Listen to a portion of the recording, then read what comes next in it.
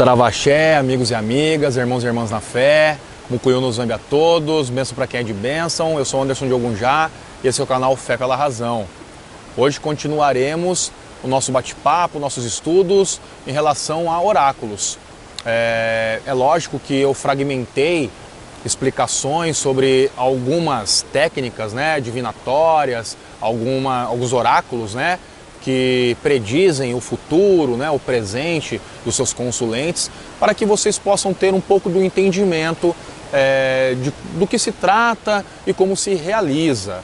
Então, assim, é, eu simplifiquei as explicações, poderia ter feito falas é, um pouco maiores, mas eu acho que essas explicações são de grande valia para que vocês futuramente possam estar é, somando cada um desses vídeos, cada uma dessas explicações. Até mesmo porque muitos membros né, da casa que nós pertencemos, às vezes ficavam é, realizando algumas perguntas e a gente num grupo né, é, de WhatsApp acabava fazendo algumas explicações, mas sempre tinha aquele que não conseguia baixar o vídeo ou então baixar o áudio e a iniciativa de criar o canal foi principalmente para atender né, a, as respostas a essas perguntas mais frequentes né, por parte deles. E é óbvio que também expandir isso a todos aqueles irmãos e irmãs na fé que possam estar tirando proveito dessas, dessas nossas conversações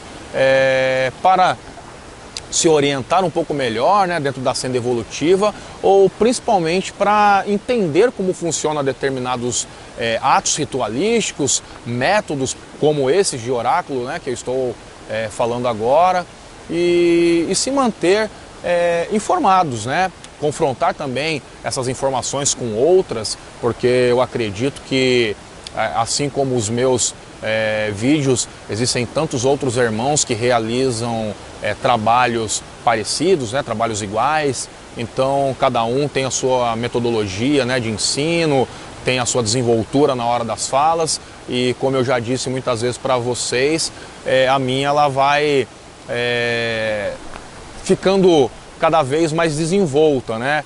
A partir do momento que eu vou me familiarizando um pouco mais com a câmera, que é totalmente diferente, né? De estar numa conversação direta, olhando olho no olho. Então, é, hoje eu continuo essa explicação sobre o oráculo e vou falar é, um pouquinho sobre o dominó, que muitos hoje conhecem como um jogo de entretenimento, né? Qualquer criança, qualquer casa de praia é, tem um baralho à sua disposição, né? Tem um dominó à sua disposição. E, e o dominó assim também como o baralho, né, é um oráculo e que é utilizado há muitos e muitos e muitos anos, é, principalmente né, o, o início ali da sua utilização foi entre China e Índia. E até hoje, por exemplo, em Bali, você pode encontrar alguns gurus que têm as suas tendas, às vezes mesmo né, na, nas proximidades ali da praia, aonde atendem, atendem os seus consulentes com as pedras de dominó de uma forma muito simples e, e prática.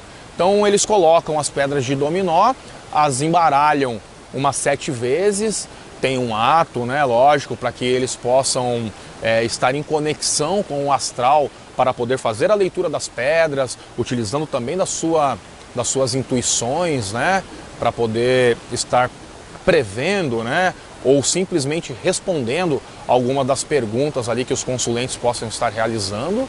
E, e aí, pós-pergunta, é retirada uma dessas pedras e ele faz a leitura ah, desses números, né? E, e utiliza também da sua intuição para poder responder a pergunta do consulente.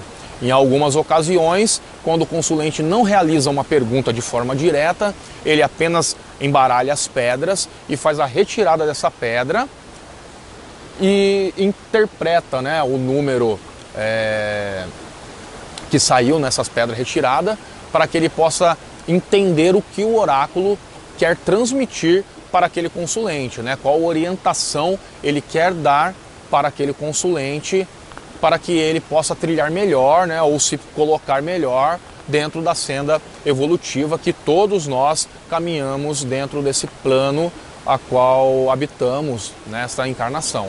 Então, é, o dominó, assim como outros métodos que eu já citei para vocês, é um oráculo antiguíssimo, utilizado é, até mesmo para prever determinadas situações de consultas de, de nobres poderosos, até reis né, ou imperadores aí dentro ah, dos locais citados para vocês. Hoje em dia ele é muito comum em alguns locais ainda do, do Oriente e pode ser encontrado aí, como eu citei, é, a quem visite aí é, Bali.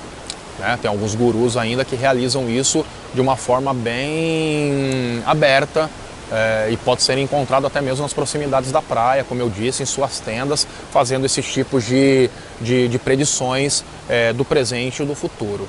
Então, o consulente muitas vezes faz uma pergunta direta ou simplesmente deixa que a pedra retirada o traga algum tipo de, de informação, algum tipo de recado sobre aquilo que está acontecendo ou que vai acontecer na sua caminhada evolutiva. Tá certo?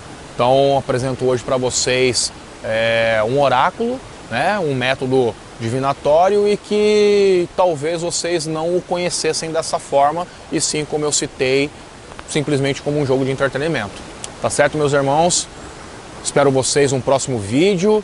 Não deixe de nos seguir nas redes sociais através do Facebook e do Instagram. Deixe o seu like e se inscreva no canal para contribuir com o nosso trabalho. Até mais a todos, Saravaxé.